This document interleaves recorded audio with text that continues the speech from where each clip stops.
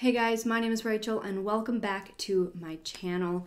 Today is going to be the last video in our little Halloween series and let me tell you, I definitely saved the best for last because this story is just so bizarre and completely unexplainable. When I first heard of this story, I had no idea what to think, and the more I looked into the research, the more confused I got.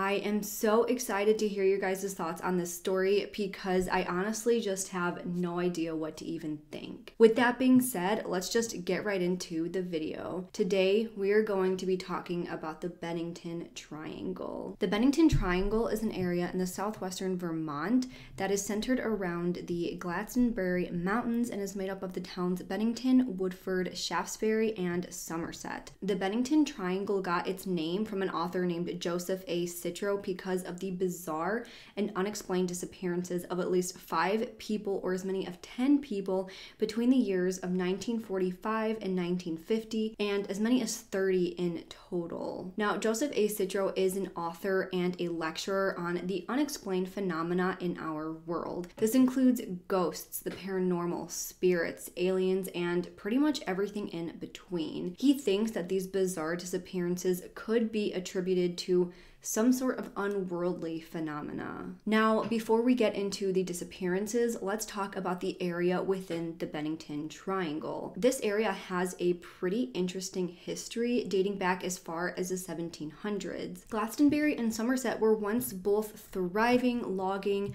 mining, and industrial communities, but turned basically into a ghost town after they were abandoned at the end of the 19th century when the logging industry died down and they basically completely eroded the soil from so much logging. Then a massive flood came through the town and destroyed a lot of the railway, and the townspeople basically just decided to leave and start over somewhere else.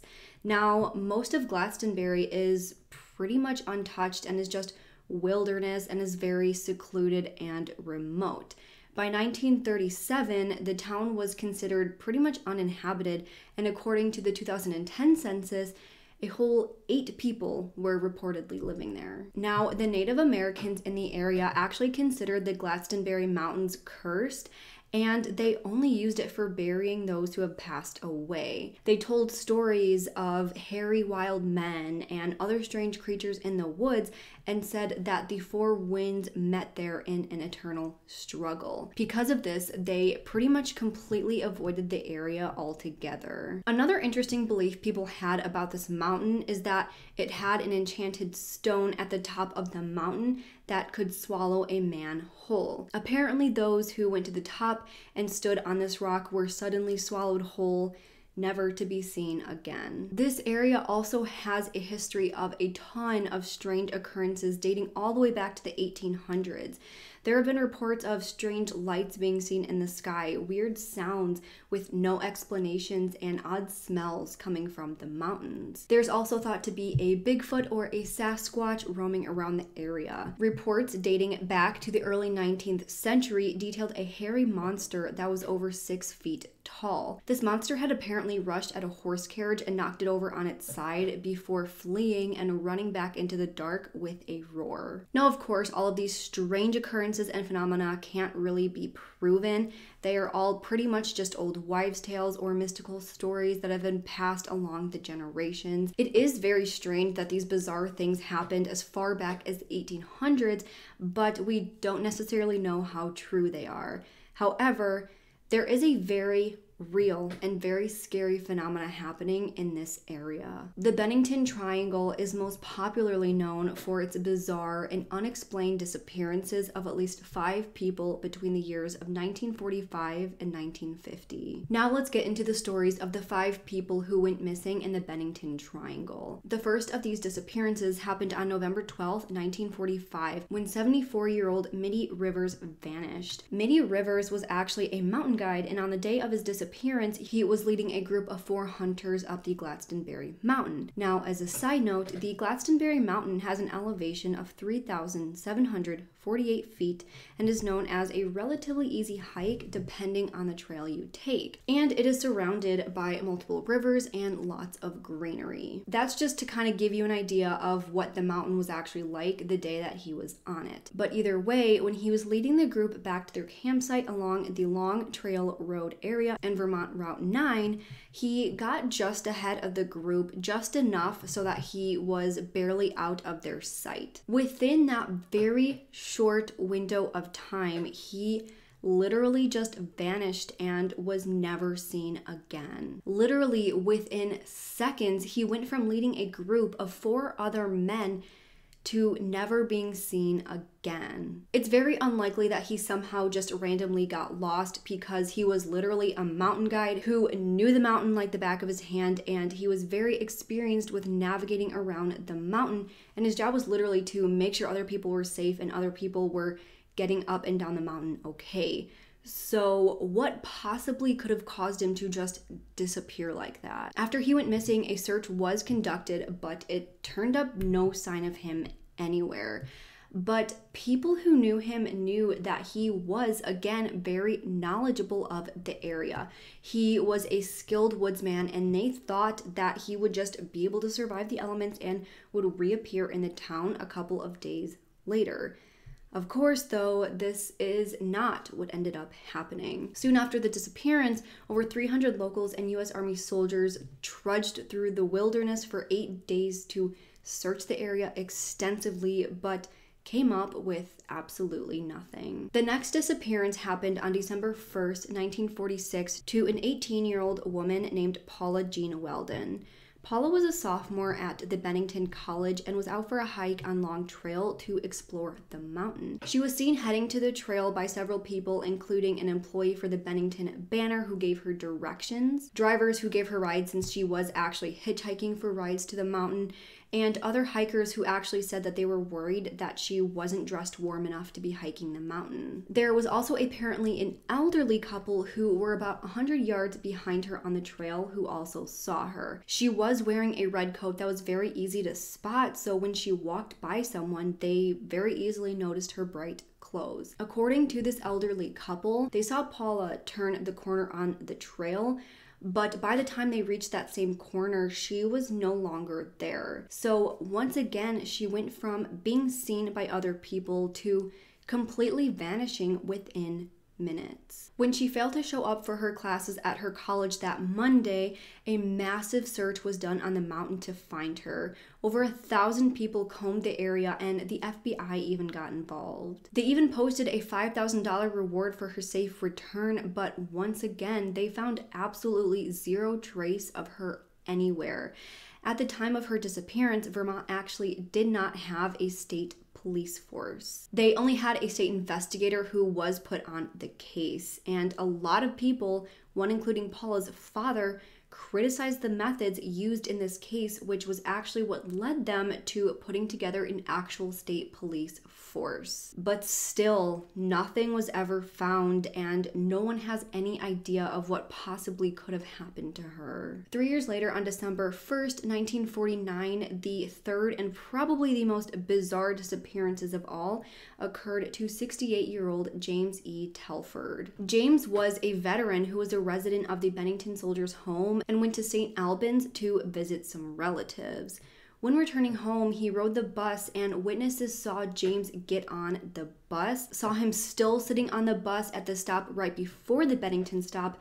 But sometime between that stop and the Bennington stop, he literally vanished into thin air. Like, people literally saw him sitting on the bus surrounded by a bunch of other people. No one saw him get up or get off or anything like that. They just saw him sitting in a seat one moment and the next his seat was just empty. His luggage was still in the luggage rack, and there was an open bus timetable sitting on his seat. The time between him last being seen and the time when his seat was empty, the bus would have been driving down Route 7 through the Bennington Triangle. So that kind of explains why his disappearance counts as one of the Bennington Triangles because he did just happen to be in that exact area when he went missing from the bus.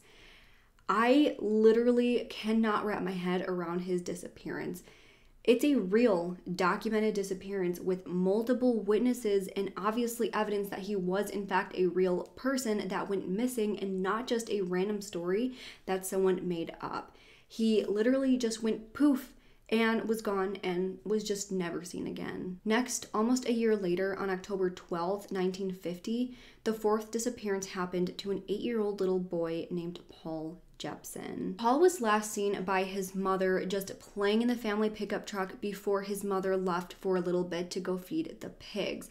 She was only gone for about an hour, but by the time she got back to check on Paul, he was nowhere to be found. Once again, search efforts were immediately conducted, but there were no traces of him anywhere. When he went missing, he too was actually wearing a bright red jacket that would have made him very easily visible, but unfortunately, that didn't help because he was never seen again. Now, apparently, when investigators brought their sniffer dogs in, they tracked Paul's scent to a nearby highway where it just suddenly stopped. After multiple searches were conducted with absolutely no trace of him turning up, the attention was actually turned to the parents who were thought to have fed him to their pigs. However, during an interview, Paul's father said that in the days before his disappearance, Paul had actually been talking about the mountains non-stop basically saying that he was just drawn to these mountains. He said that it was possibly the lure of these mountains that just pulled away his son, and that's where he was when he went missing.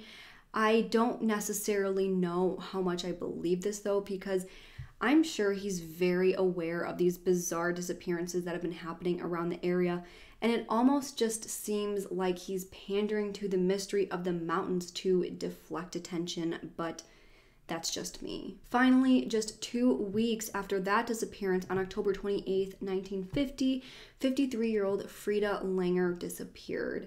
This was the last of these five very bizarre disappearances. Frieda Langer was an experienced hiker and a survivalist who knew the mountain and the trails extremely well. On the day of her disappearance, her and her cousin Herbert Elsner left the campsite near Somerset Reservoir, where they and their family were staying to go on a hike on Long Trail. After hiking about a half mile, Frieda actually fell into a stream, so she decided to head back to the campsite to change her clothes and told her cousin that she would be right back and catch up to him. Now, her husband was still at the camp with a hurt knee, but Frida never made it back to the camp and never caught back up with her cousin. When Herbert realized that she never came back, he went back to the campsite and realized that her husband actually hadn't seen her either, and neither had anyone else.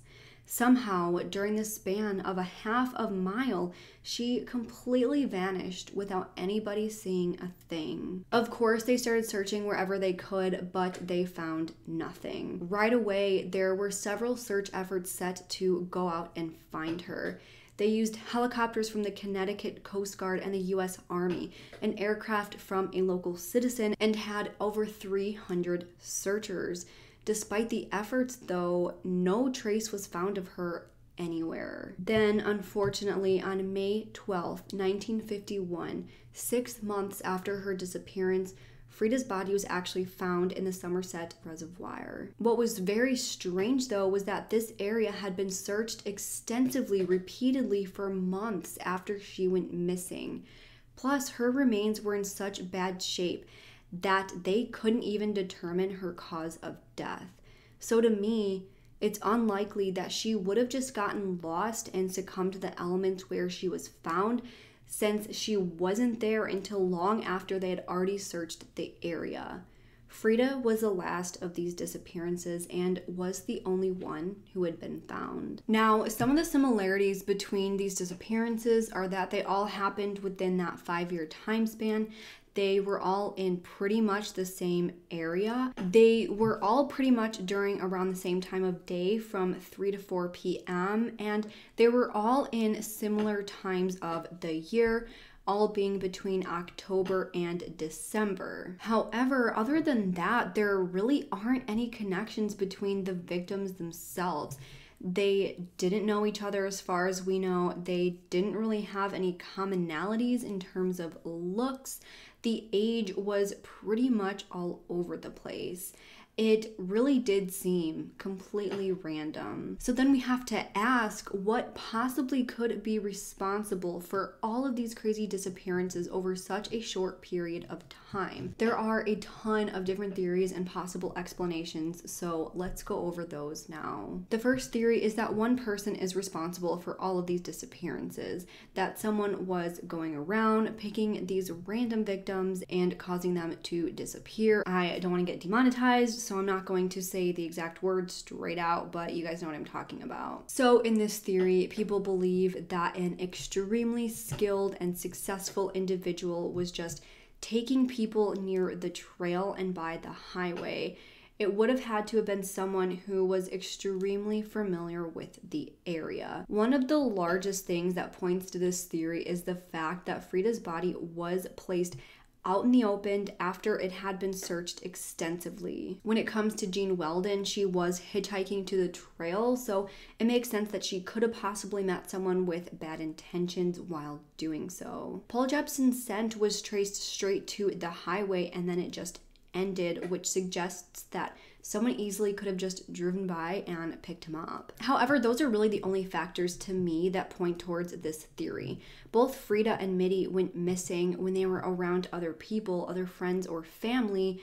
They were only a short distance and time frame away from those people, so someone would have had to have been extremely fast, not make any sort of noise or a struggle, and gotten away without anyone seeing or hearing anything within a few seconds to a few minutes. That just doesn't seem possible to me. And like I said before, these victims don't follow any sort of pattern. Generally, when someone is going around and harming people, they look for people who are similar to their MO they tend to have a type. It's very rare that victims are just chosen at random like this and are in such a broad span of ages and characteristics. An eight year old little boy, two elderly men, an 18 year old woman, and a 54 year old woman. It really doesn't get any more random than that. And I mean, I guess it is possible, but it just doesn't seem likely. I honestly don't think that one single person could be responsible for all of these different disappearances and be so sneaky and so fast that not a single person saw or heard anything between all of these different victims. So that leads me into the next theory, which is one of the largest theories in this case, which is that something paranormal or supernatural is responsible. Now, as we know, this mountain is very well known for being spiritual and mysterious. As far back as the 1700s, people were reporting seeing strange things all over this mountain. Obviously, some of these strange reportings that we discussed earlier do seem a little bit out there and maybe even a little bit unlikely. But a lot of people over the centuries have said that they all believe that this mountain is cursed. So, of course, within this theory, a lot of people believe that some sort of evil spirits could be responsible. The main thing pointing to this theory is that these people seem to have just disappeared and that there is this extensive history of it being cursed. There have been people who have been buried there for centuries, so I'm sure it is legitimately haunted. But do I think that this is what is causing these people to go missing? I don't know. The main thing that points me away from this theory is that only three of the victims went missing from the actual mountain and the rest went missing in the town. Now, it has been said that the land around the mountain is cursed too, but I don't know. I just feel like if this was some curse that was going on on the mountain, that these disappearances would still be happening and it would never have stopped. Evil spirits and curses don't just go away for no reason, so unless there's something else at play that we don't know about, and I don't know a lot about the paranormal and ghosts and things like that, so maybe some of you can shed some light on that for me, but for now, I just don't think that this is the most viable theory. The next theory is that something extraterrestrial is responsible. I think that this is a really strong theory because there is a little bit of evidence that points towards it. Like I mentioned earlier, there were reports dating back centuries that spoke of strange lights, weird sounds, and weird odors coming from the mountain. I just feel like those are signs of a possible UFO sighting, and the fact that they date back so far makes me believe it almost a little bit more.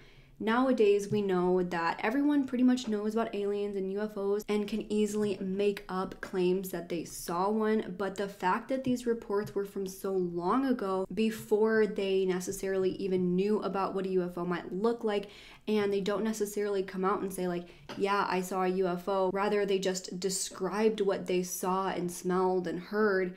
And it just so happens that we know that now to be associated with aliens and UFOs I think that's pretty strange. I think, in terms of the fact that they went missing in such a short period of time with no noise, no struggle, no evidence, no trace of them being left behind, that this is a very attractive theory. It's possible that they needed to gather human experience for whatever reason, so that's why they chose such a broad spectrum of different people. And then when they got what they needed, they stopped and moved on somewhere else. Of course, there's no real evidence supporting this theory or pointing to this theory. It's all just speculation. We don't really know. The one thing that I question with the extraterrestrial and paranormal theories is that why was Frieda's body returned and how? I think we can all agree that her body was probably placed there sometime after the search, but if it wasn't a human who put her there, who was it and why? I do think that this could be a possible theory, but obviously there isn't any real evidence pointing towards it besides the fact that there just isn't any evidence. The next theory is that they all succumb to the elements or something similar to that. Now, like I said before, all of these disappearances happened in October, November, or December. Obviously, it would have been pretty cold during those months, especially when you're at a higher elevation on the mountain. Is it possible that some of these victims had suffered from hypothermia? When experiencing hypothermia, people might do something called terminal burrowing, which is a survival instinct that causes people to find a small space and remote and just huddle there for warmth. It can get the person out of the wind, provide some warmth, and slow the process of hypothermia. However, these behaviors only typically happen after hypothermia has already started. So by the time they go and hide and find somewhere to warm up, it's often too late. If some of these individuals went to hide in these small crevices, it would obviously make them extremely difficult to find in any searches. The other possibility when it comes to succumbing to the elements is that we all know that this town used to be a logging and a mining community. There are numerous unmarked mine shafts along the mountain, and it could be possible that some of these hikers decided to go off trail and fell into some of these mine shafts. This can explain why these disappearances happened so fast and explain why they've never been found or really left any trace behind. So, obviously, the theory of succumbing to the elements does not fit for all victims, but it could provide some explanation for those that were out hiking at the time but as we know, not all the victims were out hiking at the time of their disappearance. So, if we do choose to believe this theory, we have to further question what happened to James Telford, who went missing off of a bus, and Paul Jepson, whose scent ended on the highway and was last seen in his family pickup truck. Now, this leads me to my final theory. Now, I don't know if this is the most popular theory, but I think that it is the one that's most likely based on the facts and what we know and what we can see. I think that the most likely theory is that these disappearances are actually not connected at all. So, within this theory, I would like to go over each victim and what I think could have happened to each person. First, we have Middie Rivers. He was leading a group of hikers when he went missing. We knew that he was extremely familiar with the area, and just the fact that he was leading others makes me believe that he wasn't experiencing hypothermia. And I don't think that he would have gone off trail on purpose. Obviously, he was prepared to be hiking. It was his job to know what to do, so he would have been well dressed and he wouldn't have gone off the trail because he was leading other people, and there's no reason for him to want to go somewhere else if he's just trying to get the hikers back to their campsite. So, to me, the only things that I could really see that are possible is maybe he tripped and that's what led him off the trail and he possibly fell into a mine shaft because of that. Or, I mean, he could have really been abducted by aliens. I know it's crazy, but just think about it for a second. He, again, would never have left his group to randomly go off trail by himself. Again, he was well dressed. He was an experienced hiker. So the only things that I can even fathom happening to him are him tripping or being taken. But I don't know. What do you guys think? The next disappearance was Paula Weldon, who went hiking by herself in that bright red jacket. If we remember, there are some witnesses who said that they were concerned that she wasn't dressed warmly enough. I know that I saw in some sources that she wasn't 100% familiar with the mountain. Now, I'm not exactly sure how far up the mountain she made it or how long she was outside, but given the information that we know, she really could have suffered from hypothermia if she really wasn't dressed properly. And again, with the mineshaft theory, this could be possible. Both are possibilities for why no one was able to spot her bright red jacket when they were looking for her. Of course, there's always the alien theories within all of these victims, but I also think that if any of these victims were met with foul play, it is very possible that she was. I think that she could have been met with foul play because she was by herself. She was hitchhiking, and the only people who really saw her, like, were right behind her and could account for where she was right before she went missing was this elderly couple who didn't actually know her personally. It's very possible that they could have mixed her up for someone else, someone else that was wearing a similar jacket to her. So, with Paula, unfortunately, I do think that it is very likely that she could have met with foul play or that she succumbed to the elements. I think both theories are very possible. Now, let's talk about James Welford. He is the most mysterious of all the five disappearances, and honestly, there is no plausible explanation for his disappearance. If the witnesses are right, then he literally just disappeared into thin air out of his seat in front of several other passengers. I cannot wrap my head around this whatsoever, and I really can't even come up with a theory for it. If he jumped out of the window or got off the bus or fell or whatever, someone on the bus would have seen something. Plus, he just left his luggage sitting in the luggage rack still, and he left the pamphlet that he was reading sitting opened on his chair.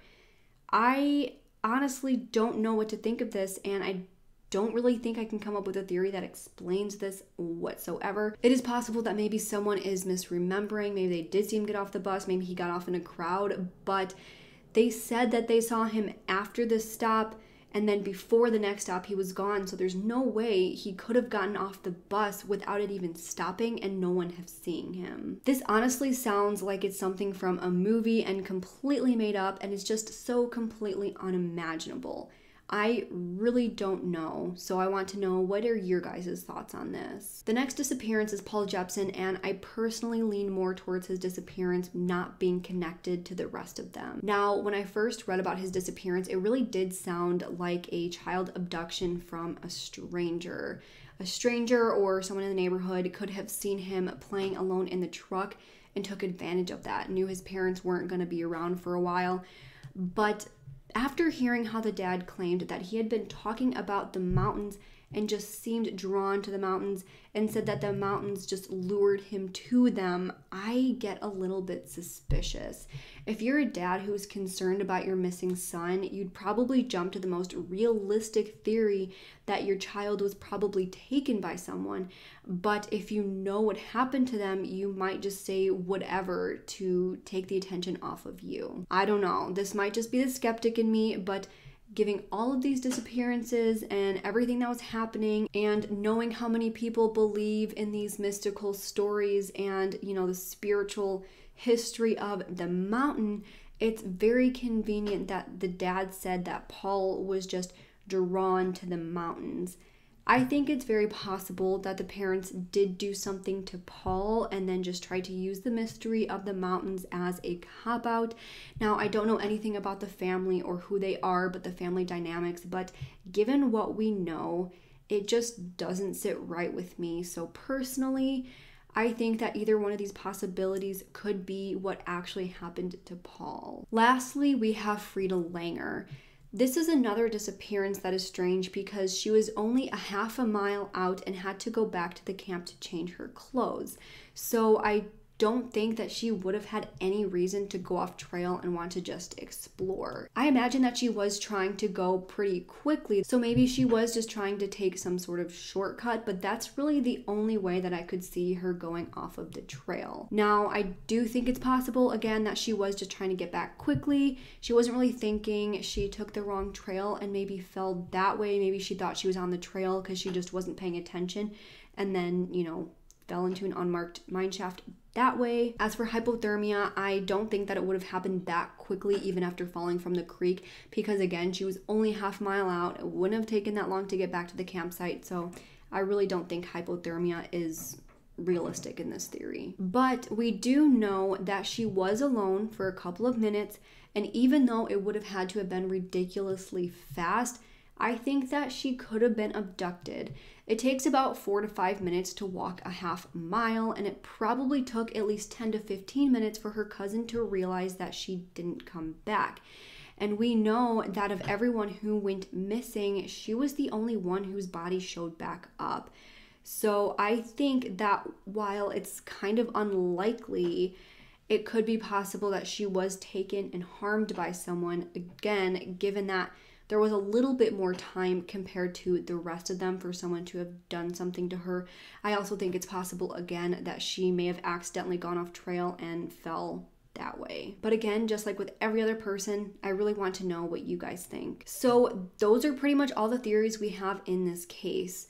With the number of victims we have, along with the different places that they went missing, I think there are so many theories and possibilities that it's hard to come up with one that makes sense, especially if we want to say that they were all connected. That makes it even harder to come up with a theory that works for every single person. I personally think that it's possible that they aren't connected and that they disappeared by different means, and that there were just a lot of very strange things going on in that short period of time that caused all of these different people to go missing. But again, as I keep saying, I don't know. What do you guys think? I honestly cannot wait to hear you guys' theories because this is such a mind boggling case, and you guys always come up with the best theories that I haven't even thought of. So make sure to leave your comments and thoughts below. But either way, that is all I have for today's video. If you like this video, please make sure to leave this video a thumbs up and subscribe to my channel. I put out new true crime and mystery videos every single week. Also, don't forget to follow my Twitter and Instagram. Both will be linked in the description box below. If you wish to help support my channel, I did make a Patreon, which will be linked below, so please make sure to go ahead and check that out. If you have absolutely any case suggestions, please do not hesitate to send them over to my email at rachelshannoncases at gmail.com. I read every single case suggestion that I get, and every single video I make are suggestions directly from you guys. I really hope you guys enjoyed this little mini series. I know I didn't make a video every single day during Halloween week, but I did what I could given the time that I have. So I really hope that you enjoyed these mysterious and spooky videos. With that, I hope you guys have a great week and I hope to see you next time. Bye!